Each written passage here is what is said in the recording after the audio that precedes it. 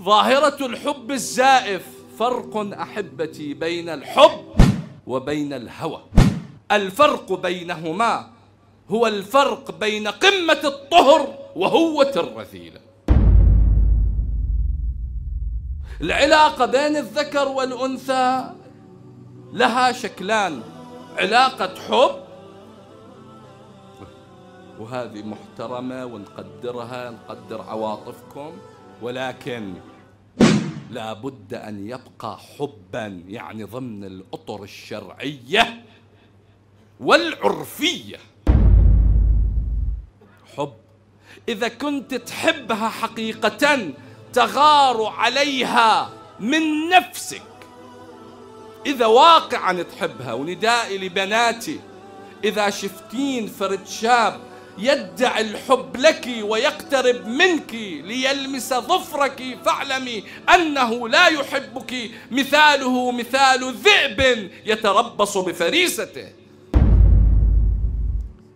ليحبك ما يرضى أحد يقيسك حتى هو.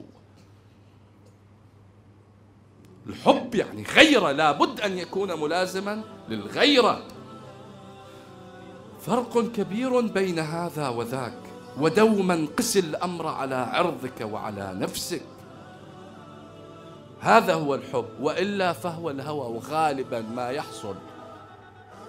في المجتمعات وهنا لا بد لي أن أؤكد على أمر قد يقع فيه شبابنا من المتدينين. وقد البعض يكون من السلك مثلا الدعوي يعني ناشط متدين بالجامعة كذا ناشط. ماكو شيء اسمه أختي وأخويا. الأخوة واضحة شنو هي أو بالنسب أو بالرضاع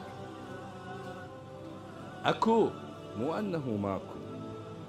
بس هاي الأخت والأخ اللي بيها قعدات منفردة ومحادثات طويلة ونحو ذلك.